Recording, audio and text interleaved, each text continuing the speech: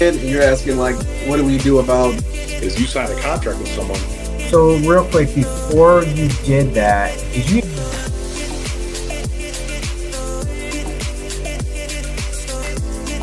More than 30 years. I got my real estate license in the. Um, and your your origin story. Is that he uh, he made an age joke the last time we were. Uh, I'm gonna I'm gonna use that kuka. You know, I- I'm a little more strict with what I'm I'm looking at. Uh,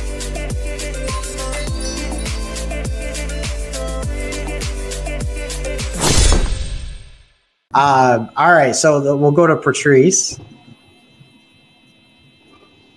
Hey everyone. So for the team, I handle the operations. I'm the chief operations officer. Handle all the day-to-day stuff. Um, help with the team, any training on our back off on our systems, or you know our tools that help set up all of our events, all that good stuff. Everything that helps to keep the engine running and keep Mr. Calhoun going as well. So um, that's in a Got it. nutshell what it is that I do on the team. Awesome. And then we'll go with Larek. All right, so I am the uh, coach. I am the marketer.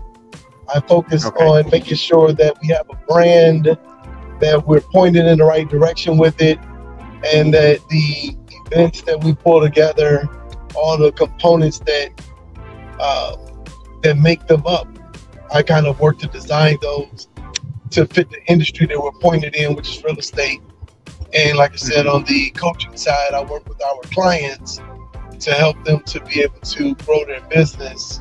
And my main focus right now is not necessarily as much as the clients that are trying to do the fix and flip, but the speakers that are going to be on the stage are my clients.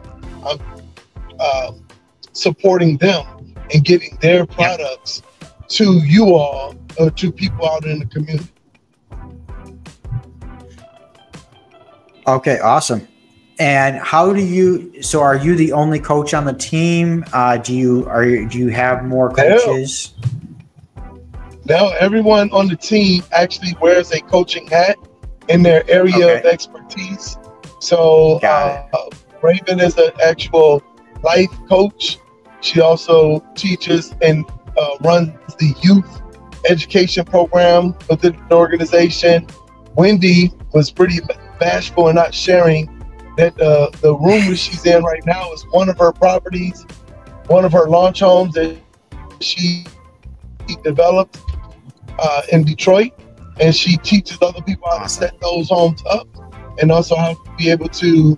Uh, so she coaches them, and being able to help them to, uh, you know, even get into the group home business, and then Miranda helps and coaches people with the back office when it comes down to administrative tools.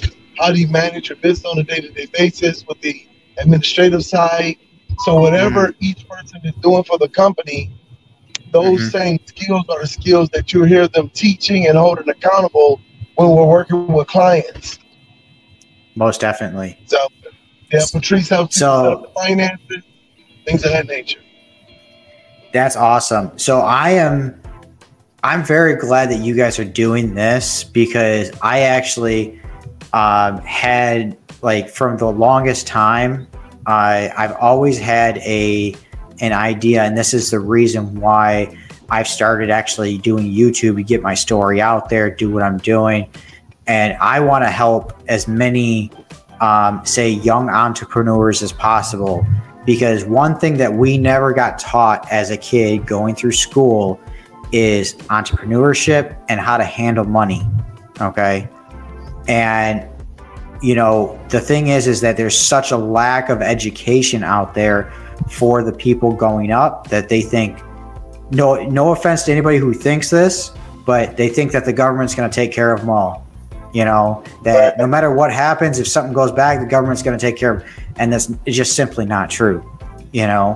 When you start relying on the government it, it it's going downhill very fast because there are and, and no offense to anybody who is but in my experience the government is only out to get their voters and give just enough to get your vote and that's it you know That's to do just enough. So- so you're never going to get ahead by relying on the government ever. Okay. I, you can take that to the bank, period.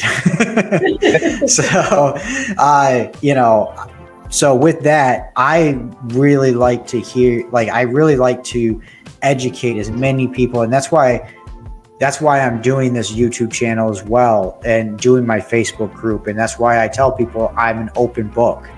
You want to ask me, ask me anything. I'll, I'll answer it for you. No problem. I'll give you my personal opinion, you know, um, you know, and I'll try to back it up with as much evidence as possible.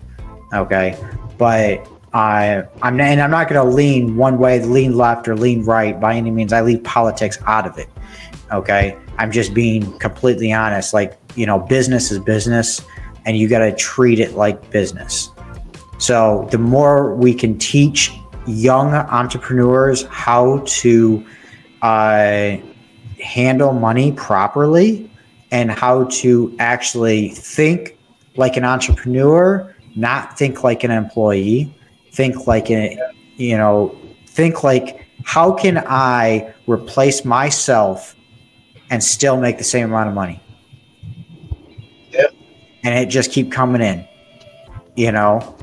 So one of the books that changes my, changed my life and probably changed a lot of even probably one of you guys eh, or all of you is the yeah, I call it the entrepreneurship Bible. Rich Dad Poor Dad. So rich rich dad poor dad.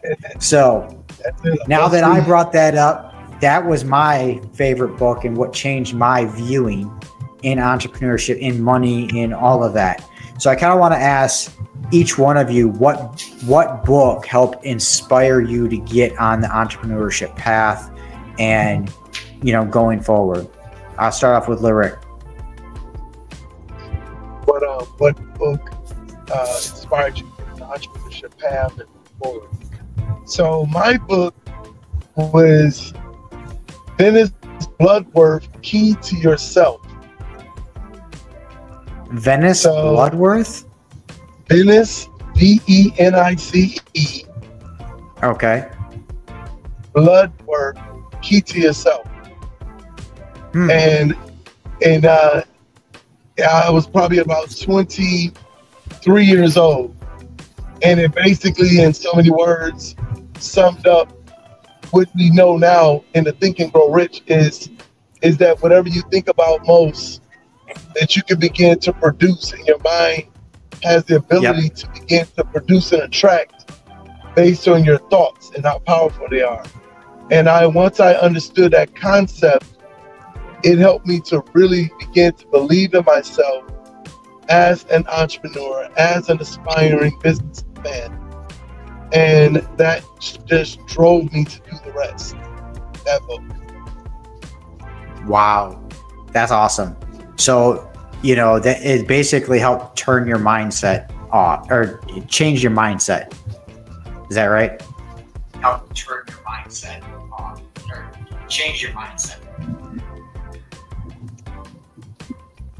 So, I, yeah, we're getting a little bit low signal from Lyric. It's because he's driving here, so that's all right. So, um, but Yeah. yeah. Yes. All right. Awesome. So let's go with Raven. Raven, what what was the book that changed you, your mindset, or Yeah. changed how you look at things? Since you stole the one that I had, which was yep. I was, you know, this is going to sound a bit unusual, but believe it or not, the Bible.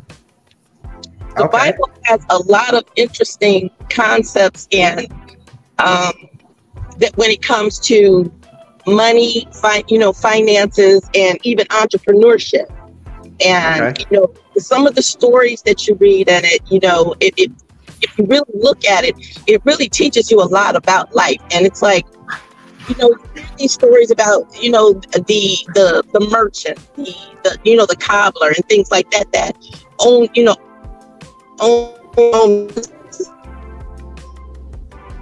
you know, I you know those things, you know, I broke them down in my brain and I was like, you know what? That's when you go into the stores and see other individuals, they have their children in there with them, you know, Yep. and so and I'm old school anyway, so that's something that I, I got from the Bible, and that changed my life. And I'm old school anyway, so Okay. Okay. Awesome. So how about how about Miranda? What what was your book? Well, outside of uh, Rich Dad Poor Dad as well, I would say my Spencer Johnson. That was Say a that book. again. Who Moved My Cheese? Who moved my cheese? Correct. I believe it's Okay. Spencer Johnson. Uh huh. That um, I think that book was inspirational and reminding you not to get stuck. And I Okay. think sometimes you're just a regular employee, you just go to work. You and some people have goals. I wouldn't say people don't have goals, but you, you're you're more robotic.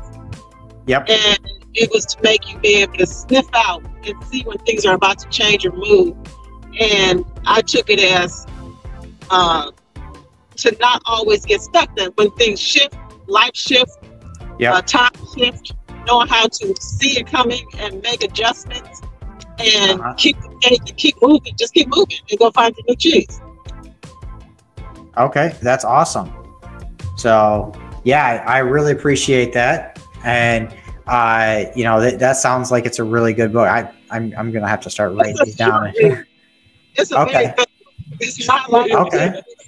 You can read that quickly, and it's, it's powerful. I, I, it's, it's a great book. I think young people should read. it.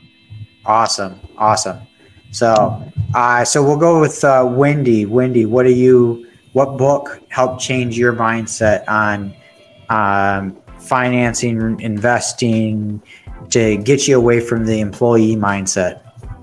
So actually, it wasn't really a book. Um, I was sitting on a couch one day watching Oprah back in the day um, in 1996. God love Oprah. So yeah, Sorry, so. It, it wasn't a book, and Okay. I started a cleaning service. Mm, And so I had a job. I really didn't like the job that I was going to. mhm. And I decided that I want to be an entrepreneur. And I've always wanted to be in real estate, but I started off with a cleaning services and I was doing residential. And then I started to do commercial. And then I started investing into real estate, you know, houses Right. and, and, Yep. and some other stuff. So, yes. But it was watching Oprah Winfrey um, talking about entrepreneurship in 1996. That's awesome. So, so yeah, that that's really great. And it sometimes it doesn't have to be a, a book. You know, Mhm. honestly, it was hard for me to read books growing up because I actually have just dyslexia, and you know, I don't know. A lot of people don't know this about me. Is I have uh, dyslexia with um, reading, writing, and comprehension. So the reason why is, is it takes me forever to read. And the reason why is because I have that's how I comprehend. If I read it too fast, it just it's in one ear and out the other. You know, so I have to slow it down.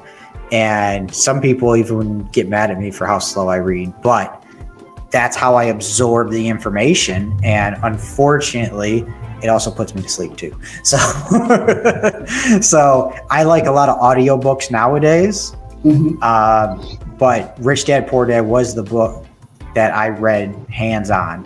So that was awesome.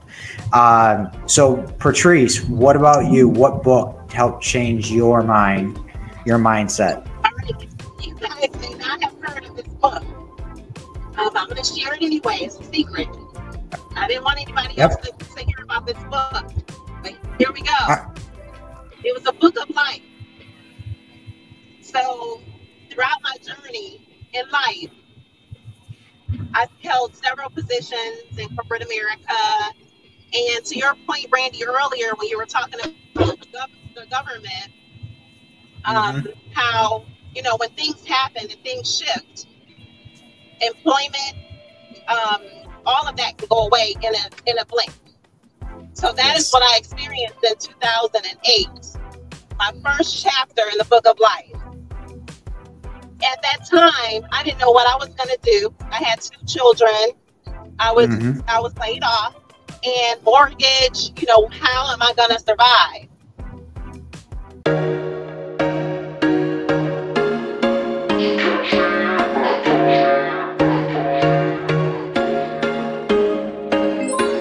There was once a day that I would pray for you I'd go and misbehave just so you'd notice too Sneaking looks up and down from across the room